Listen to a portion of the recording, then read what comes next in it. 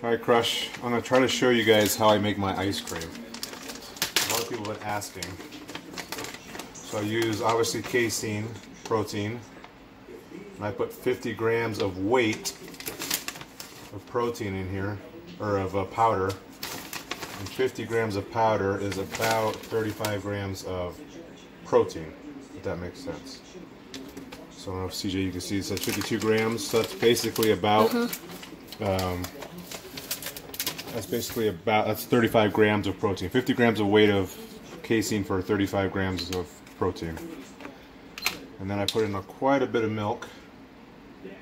Just unsweeten almond milk. See that fills it up quite a bit.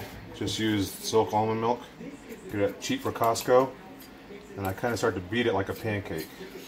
Pancake mix with a fork.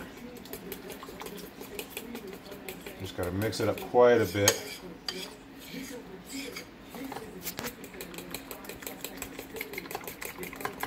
Trying to get all the clumps out.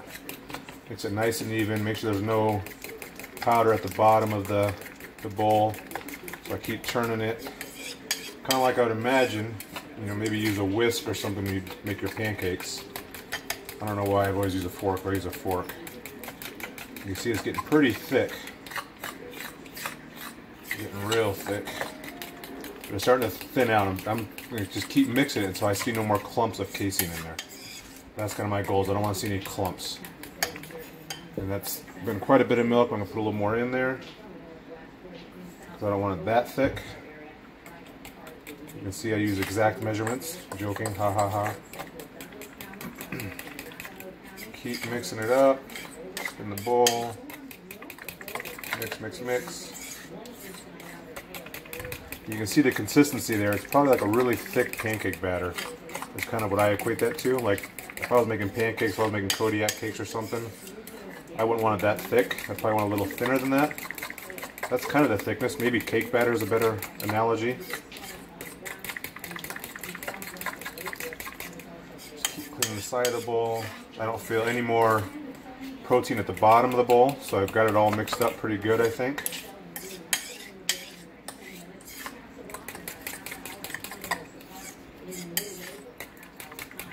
Mix, mix, mix, mix, mix, mix, mix. Just like you with pancakes, gotta lick the spoon. I'm gonna put that in the freezer and we'll come back in a little bit. Just going to pause it. Alright, so this has been in the refrigerator for about 30 minutes. You can see it's starting to thicken up kind of like ice cream.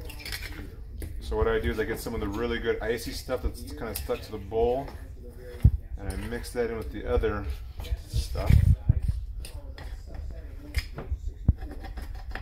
Dig at it, mix it up a little bit more. Not much this time, but it's definitely starting to harden up and starting to look like ice cream. And then I'm done doing this, mix it up a little bit again. There's a bunch on this side. Scrape it off. Once again, you gotta lick the spoon. Back in the freezer it goes. Stop. Just stop. All right, guys. So here's the final final product. It's definitely starting to ice up. It's definitely cold. It's definitely not going to be grainy.